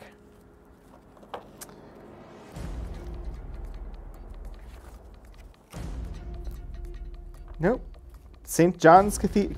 We've got cathedrals, cathedrals. Ah, some American architecture.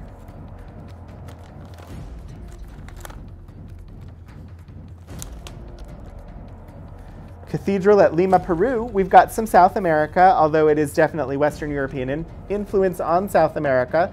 Uh, so uh, not exactly what I was talking about with um, ancient South American architecture, but we have a cathedral in Peru. Um, the Palazzo de Armas and Cathedral at Lima. Old Spanish Bridge at Lima.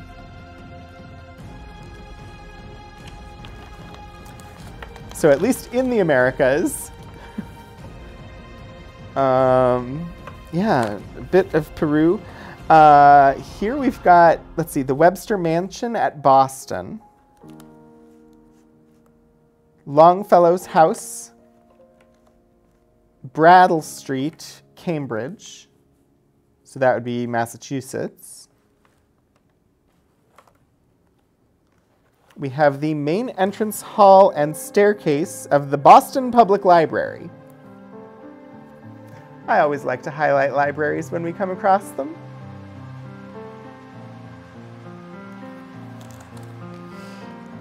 Independence Hall in Philadelphia. We've got a picture in here of the Statue of Liberty, Washington Arch, a variety of things.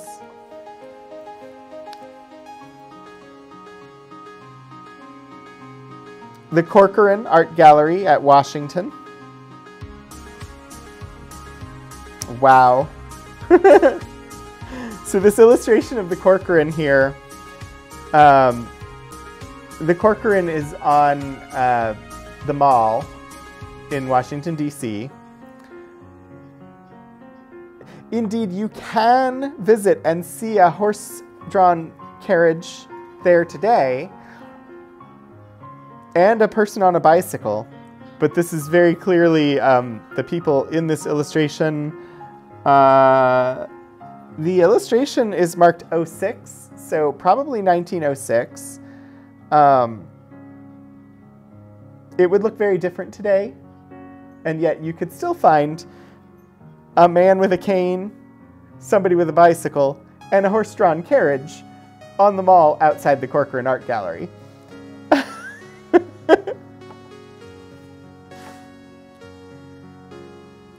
Although the view would be very different because there are other buildings there now too.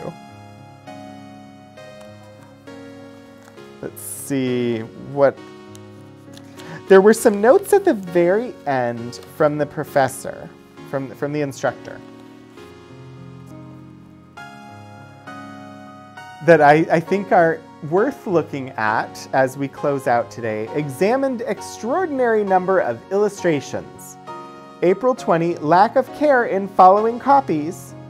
Examined uh, presents an honorable mention.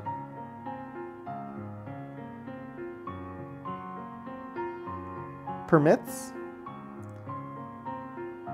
Prevents? I don't know what this word is.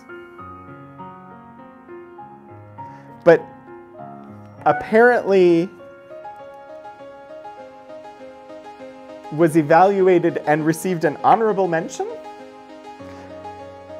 So possibly this was submitted for some sort of contest. I don't know.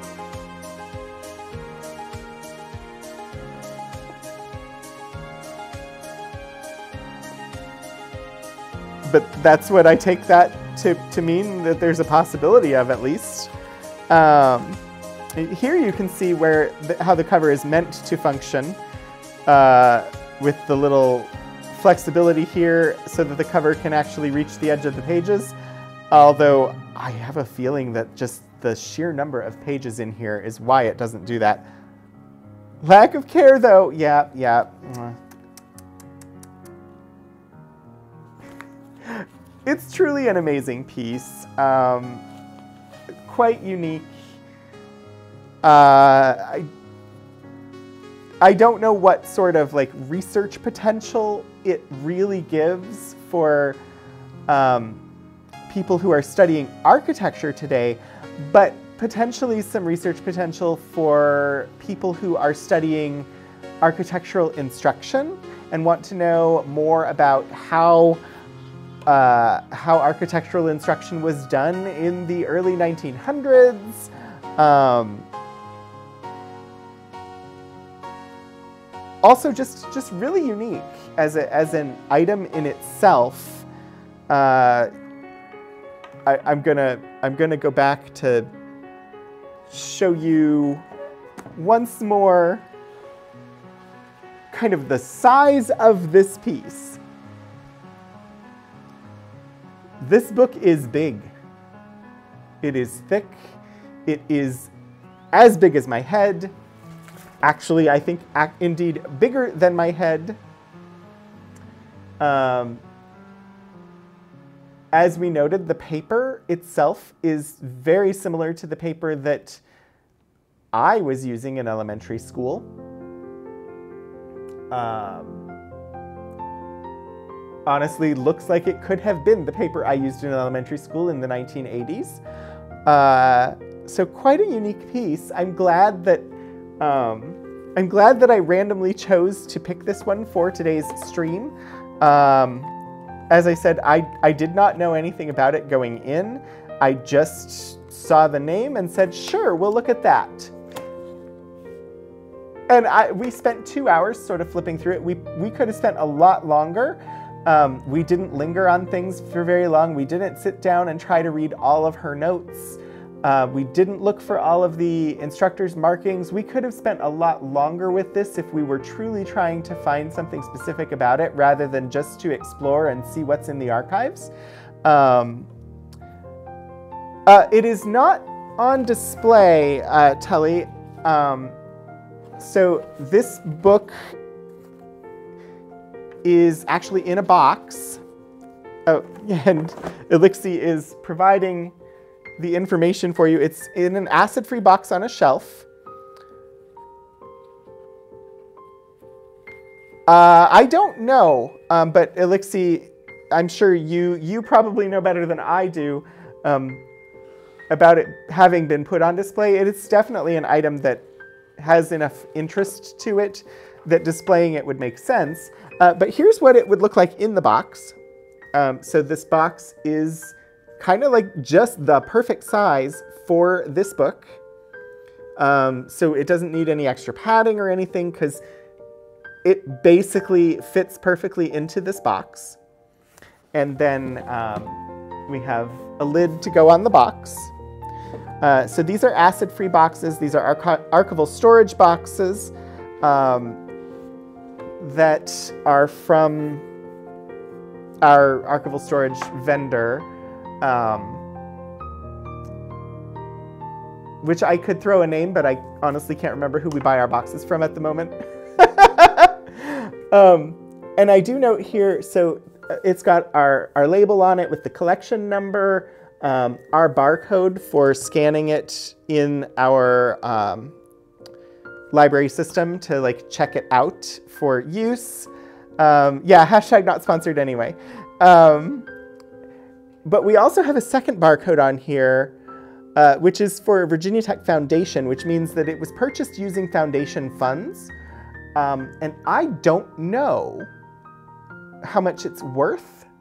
Like, I don't know. Typically, foundation items uh, tend to be more, uh, uh, like, for them to be barcoded as a foundation asset, um, they typically are the more valuable items in our collection. I do not know what the price we paid for this was or um, indeed how much it is worth. Um, and I don't actually have the ability to look that up here. Uh, that, those records are probably in our archival database, but uh, access to that database is restricted to certain IP addresses on campus, and I do not believe that in the building or in the room that I am presently in, I can access it. I haven't tried though, but um, Elixir may know if it is of particular value. Um, it's definitely not worth as much as the copies of Ulysses that I shared last week. I can say that for sure. Um, I don't honestly think too much about the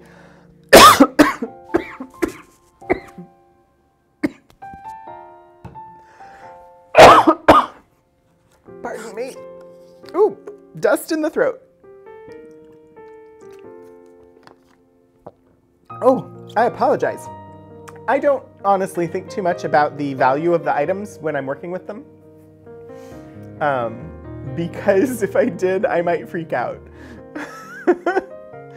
um, it's a hundred-year-old notebook from an architecture student. We don't know who's, yeah, archival paper dust is a bit. Um,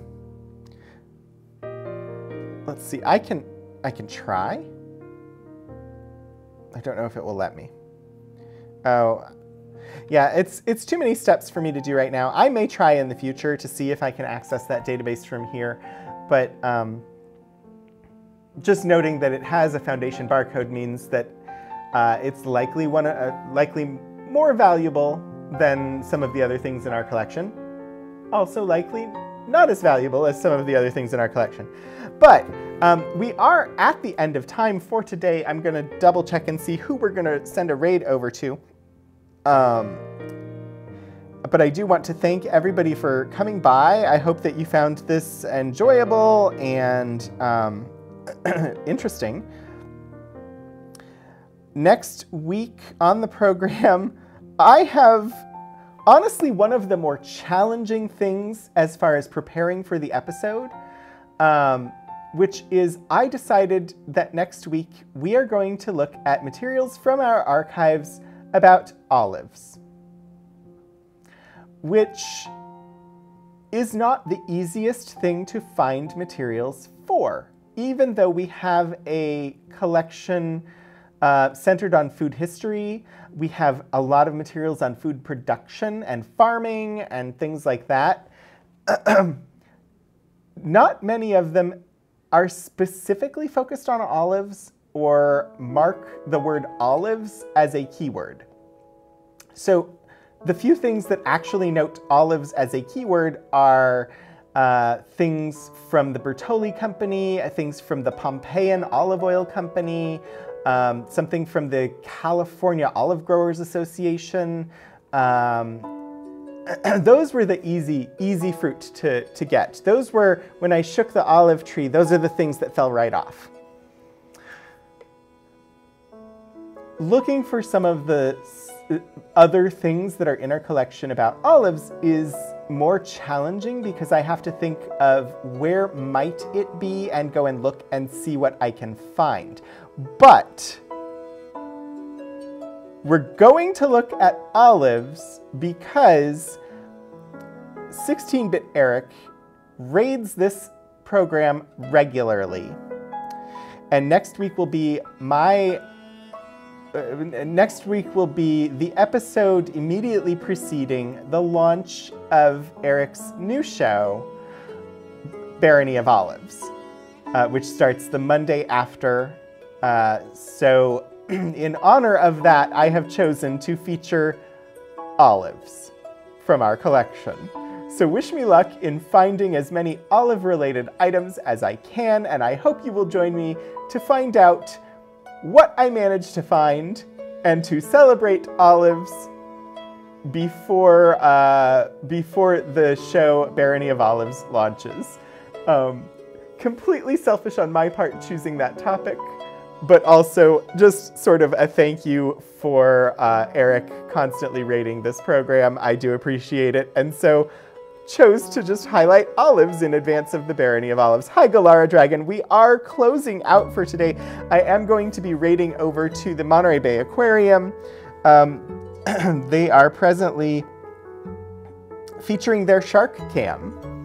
Uh, so yeah, wish me luck on finding olive things.